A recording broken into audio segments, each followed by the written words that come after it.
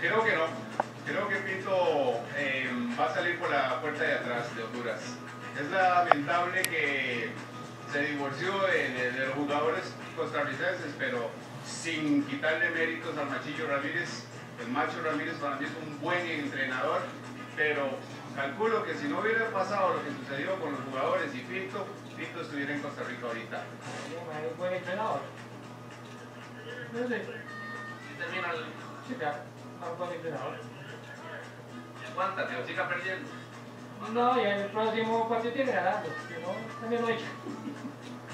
Ah, como son los hondureños, de, y no, que son sangre caliente, lo dudo mucho. Eh, entra para afuera. Me encantó Pinto aquí cuando estu- estuvo con nosotros en la selección, pero eh, no, los hondureños no, no aguantan mucho. Yo pienso que sí, ya lo... Le deben haber de una sola vez, pero no, ya no pasa. Si no ganan esto, último ya es demasiado. No termina la eliminación. No termina. ¿Por qué? Claro, jamás está muy mal Honduras.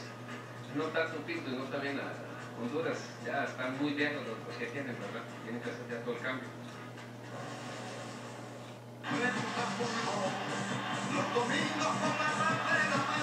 Pinto siempre ha estado al borde del ridículo. Así fue la primera vez que lo hace. Tuvo que sacar un 0-0. Porque le gusta hacerlo. En la última eliminatoria con Costa Rica tuvo que ir a El Salvador obligadísimo a ganar y ganó. Por eso yo digo que todavía no. No termina la eliminatoria. Usted dice que sí. Bueno, vamos con nuestros mismos invitados y vamos a dejar a alguno de último. Primero empezar con José Yacone aquí. ¿Termina Pinto la eliminatoria, José?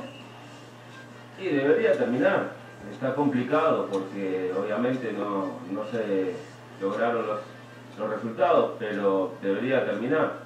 César Eduardo, vamos a ver. La matemática dice que si Honduras le gana a El Salvador, como sea, 1-0, con un gol de mano, como sea, y México le gana a Canadá, que es lo lógico, ya Honduras, por diferencia de goles, saltaría al segundo lugar. Eso es un dato por, por considerar Y también. después le queda todavía Canadá en casa Y, y ir a la Azteca. y después sí va a vivir o morir al Azteca, pero sí le quedan dos partidos en casa que los debe de ganar